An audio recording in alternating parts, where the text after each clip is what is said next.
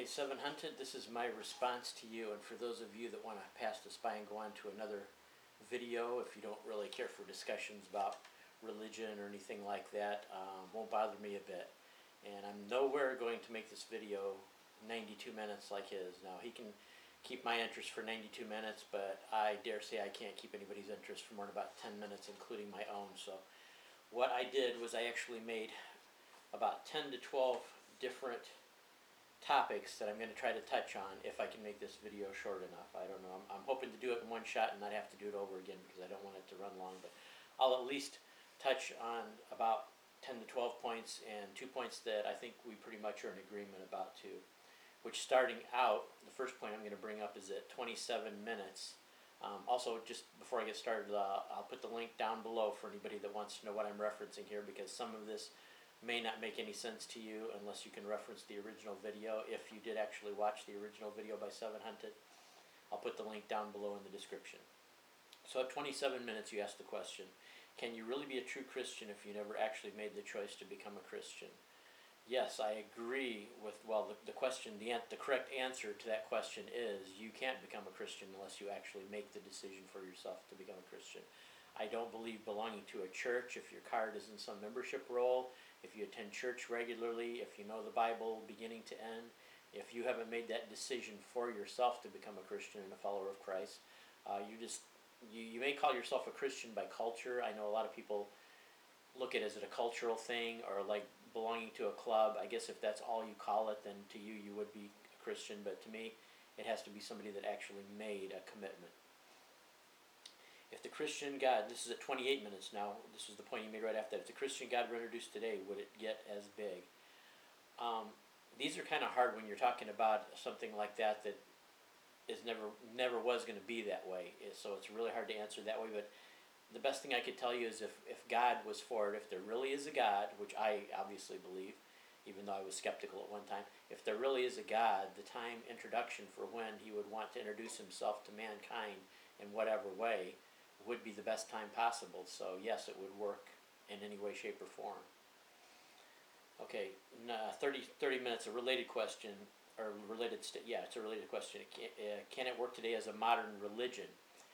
Yes, absolutely. In fact, I think it's probably needed more today than any other time, well, or at least as much as any time in the past, because who would not rather, instead of being judged for everything you've ever done wrong in your life, would not rather receive mercy and forgiveness? I mean, just basically friendships, marriages, any kind of relationship with another person, I think to function as best as it can, you need to show a lot of mercy and a lot of forgiveness. And I think that's something that's really lacking nowadays. I mean, I'm not saying that Christians have the uh, only ones that have this kind of philosophy, the Christians are the only ones that have this type of philosophy. I know among a lot of other religions and a lot of other denominations, the, the philosophy is the same. I mean, would you rather actually if, if you had to actually pay the price for everything you did wrong in your life, if every time you broke a law you got arrested for it and got the full punishment, that'd be a pretty lousy life. I mean, I would rather much more get forgiveness myself than punishment for everything. And your statement at 30 minutes, I agree with too. Religion does give hope. I mean, just looking at it even before I was a believer as a skeptic, um, I kind of thought at the time before I became a believer at the age of 29 that there probably was there was there, I was kind of partially agnostic, but I believed if there probably was a God out there that kind of start got the universe kick started and did everything, he's probably not concerned with uh, anything in my life personally. And then later on, I found out that God really was. But yeah, the fact of when you die that it's not just the end does give you some hope, even if it's false hope. I mean, if you do have that hope, you at least think that there's some kind of a chance and that's kind of the rub about the difference between an agnostic and an atheist versus a Christian. I mean, you guys will never, if you are, end up being right in the point, which I definitely do not think you are right, obviously, because I'm a Christian. Otherwise, I would. But let's just, you know, say for uh, uh, sake of argument that you guys are correct. You'll never get to be able to find out. Whereas us as Christians, if we're correct, we will be, be able to find out, you know, the end result of what we believe. So um, kind of unfair in a way, but I guess that's just the way it would work out, you know, logically. Um, 36 minutes, you said lack of documentation of events in the Bible. That I would have to, along with the accuracy of the Bible, I would have to really counter that strongly. Even as a non believer, if you look at the way that they treat historic documents. And, and let's also remember that the Bible is not a book. People look at it that way because we see it bound together in a work and we go, oh, here, this is this book. It's not actually. It's a whole bunch of different writings and different forms of writing. Some of it is proverbs, some of it is poetry, some of it is prophecy of the future, some of it is prophets speaking out for God, some of it's history going back to the early Jewish religion, and some of it is actual letters sent out to the different churches. So it is many, many, it is over 60 different separate documents written by different people. And the reason why that you can tell it's accurate is because of the number of copies that exist. Like any kind of document, and this would go for any type of writing whatsoever. If a, if a writer back 2,000 years ago wrote a novel of 200 pages, obviously it would be very unlikely that that document would survive. So what you would have to do is you would have to track down copies. You would go to all the various places where the copies spread in different parts of the country and then see if they were all very, very similar. You could pretty much reproduce the way the original work was written. And any major changes of any one particular section would show up as being very different than all the rest of the different copies.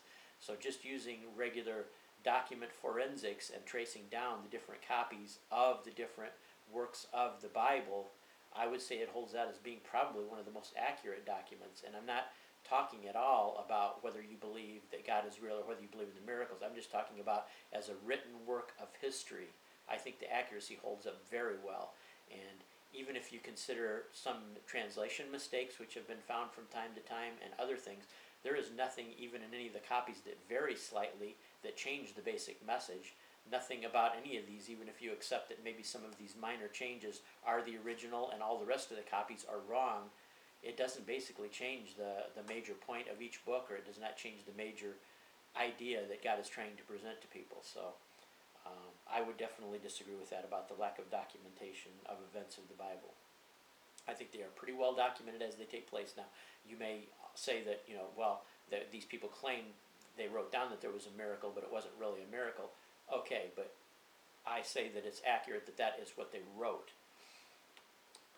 Um, following rules of the Old Testament, invading countries, etc. Well, the other thing about it with the, doc- the doctrine of Christianity is there are these are two separate ways that God dealt with his people. The first way in the Old Testament was dealing with the people through rules and regulations. And this was because of the way we wished to deal with God. It wasn't God's choice to do it that way. God's choice always was to show us mercy and to show us forgiveness. But we decided we could be good enough to reach God and we could follow enough rules and we could follow enough regulations. And if you read the Old Testament, constantly people are crying out to, to have God give them more things to do so that they could prove how much they love God.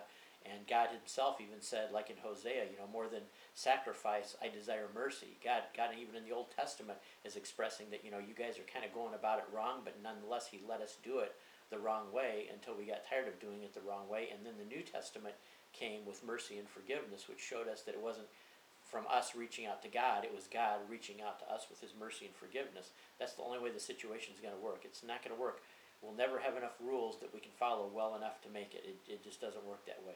Plus, you also get the thing, too, that even among Christians, if you have a denomination that's very legalistic and likes to follow rules, what people end up doing is they lord it over each other. Well, you know, I'm a little bit better Christian than this guy is sitting next to me because look at all these rules I follow better than he does.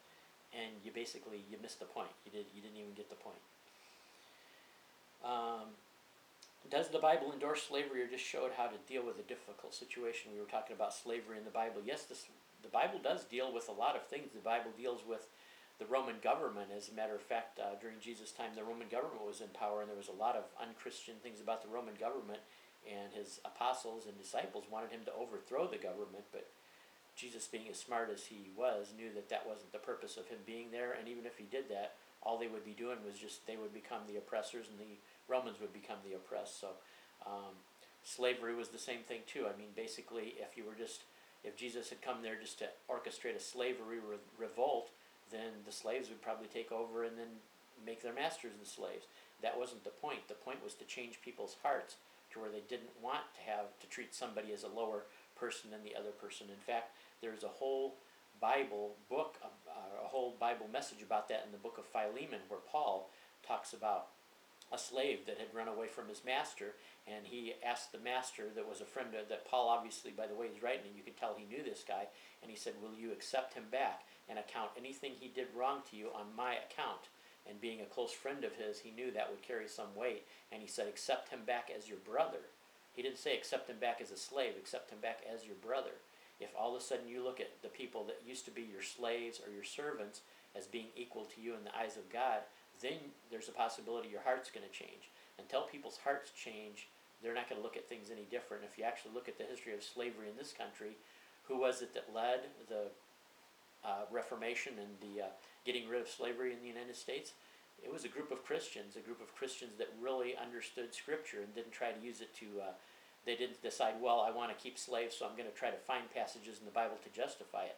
They looked at the Bible the way it was written, that all of us are the same in the eyes of God, so we can't say that somebody that looks different, acts different, or is indifferent in any other way is different than us. They're all children of God. Nobody should be a slave of anybody else, but you have to change people's hearts first. Okay, also, you talk about women as second class. If you look at Jesus' example, and he is always the supreme example on how to handle the situation, how to operate, if you look at his two uh, times that he came in contact with women, one was the woman that was going to set to be was set to be stoned because she was an adulteress, and uh, Jesus went over and said, you know, he who's without sin cast the first stone.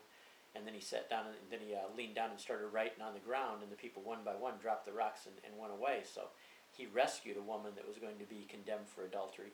We still don't know what happened to the guy. If he, you know, if he ran away or whatever, they certainly weren't after the guy; they were after her. But uh, no, he he didn't call her a condemned woman because she was caught doing what she did. He he treated women respectfully too. There was a woman by the well, and she was there in the middle of the day. Well, why would a woman be there in the middle of the day when it was hot? Well, that's because she couldn't associate with the other so-called virtuous women that were just married to one guy. And later on, Jesus told her about her life that, yeah, I realize who you're with right now isn't your husband. You've been married several times before, and the guy you're with right now isn't even your husband. So he didn't say, oh, you, you know, you whore, you harlot, you slut. He just basically told her about her life and told her, you know, he treated her, talked with her, talked with her respectfully, and just asked her to maybe change her heart and change her mind about what she was doing and how she was operating in her life.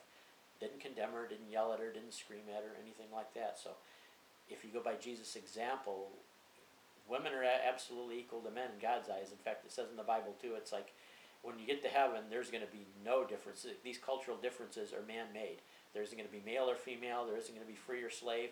In heaven, we're all going to be exactly equal. And if you look at many passages in the Bible, um, it says exactly that, that women are to be treated equally because if we're flawed human beings, do we do that always? No. Young Earth creation versus evolution. Um, as a, my, a, matter of fact, my denomination has always uh, been pretty much all during the modern era has been in favor of science. If you go to any Catholic school, any Catholic university, all different theories of science are taught.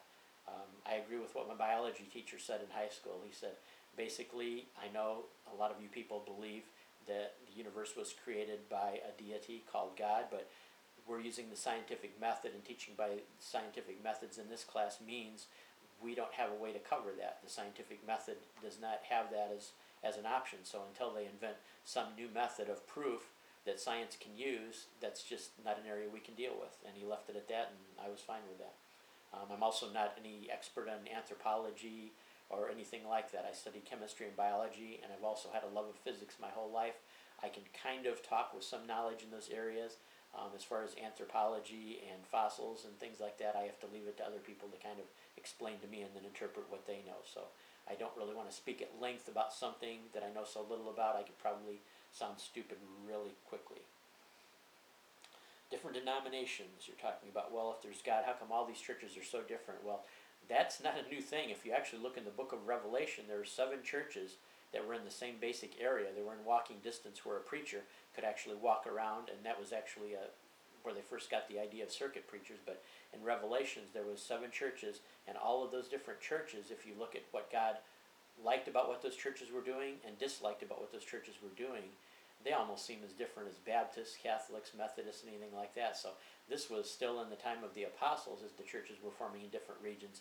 They all had their problems. This is just another thing that just happens to be because human beings form religions. Uh, God isn't so concerned with our religion or our denomination so much as He wants a relationship with us. and those are the two conflicting values. You know, people want to form religions, they want to form rules, and there are some important things that uh, religion or a denomination can accomplish. But if you take that as being equal to or above your personal relationship with God and knowing Him, you've kind of got it wrong, in my opinion. Religions are man-made. That is true. Relationship with God is no. Okay, that is uh, just basically what I was explaining here. Okay, the last point right here, I'm going to have to totally disagree on this last point. The burden of proof is on the believer to prove there is God. Um, I totally disagree with that. If if it says what it says in the Bible, God is always wanting to reach out to us and make Himself known. And be being a skeptic too. That's what I kind of expected, and that's how I did end up becoming a believer because God ended up showing me enough to get past my skepticism. I'm not going to get into my testimony. I did that on another video a long, long time ago, and this is a, a discussion, so we're not going to get into, into that kind of thing. But um, the other thing too is if there was somehow, some way I could reach out to you and give you absolute proof that there is a deity up there, um, like I believe in, that's still not going to necessarily mean you're going to want to follow him or be a part of uh, any kind of denomination, Christian, Jewish, Muslim, whatever, that wishes to worship him. So even knowing that is no guarantee. I mean, if I believe in God, obviously as a Christian, I also believe in Satan, and Satan believes in God. He lived with him in heaven, but he's certainly not a follower of God, and he's not somebody that worships God anymore or really cares much about him. I mean, he's basically working the, you know, the opposite extreme of the, of the um, line of what God is trying to do. So just because you believe there is a God doesn't necessarily gain anything for you. So until actually God is reaching out, and it, and it says too, the, the funny thing about it is, I'm a person that I wish I could really believe in total free will, but it seems like the Bible has a bit of determinism in, in it too. And I know a lot of my atheist and agnostic friends are strong determinists. And uh, it kind of, the Bible does have a lot of evidence for that too, that it's actually first God that reach out, reaches out to us. We think we're the ones that, that accepted God, but actually God reached out to us first and accepted us. It's, it's still hard for me to believe because I don't like to think we're some kind of robots or something like that. Um, that's another point too about people say, well, why does God allow evil? Well, you could actually make sure that evil doesn't happen. You could control people enough that you can constrain them to only do what you want them to do. But that's kind of what we do with prisoners in maximum, you know, maximum prisons, you know, maximum security prisons, and that's not much of a life really. Being you know monitored every minute, being constrained. I mean, you're in bondage a lot of times. You have cuffs and leg irons on, so yeah, God could make it, but you know, what kind of a life would that be? Would you really want to live a life like that when you were so bound and constrained that you couldn't possibly do anything by your own free will? You just had to do what somebody else exactly wanted you to do. So, you know, if, if you do want people to have the freedom to have a relationship with you, you also have to have them, give them the freedom to not have a relationship with you and also do whatever they feel like doing. And that does oftentimes make for a very sad situation here on earth.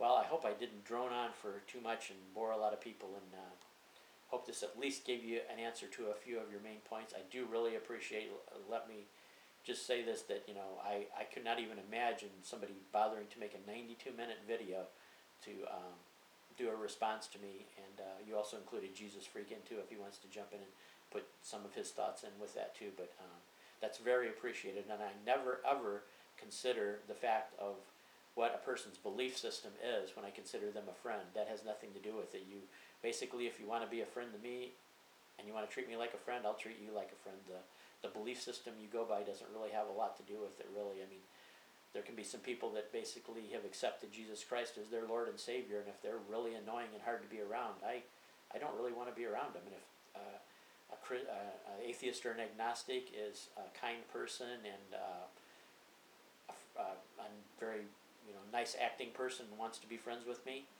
I want to be friends with them too. It's just, you know, natural. So anyway, take care, everybody. Talk to you later.